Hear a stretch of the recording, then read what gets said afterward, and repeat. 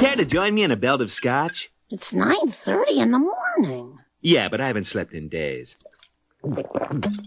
Last chance.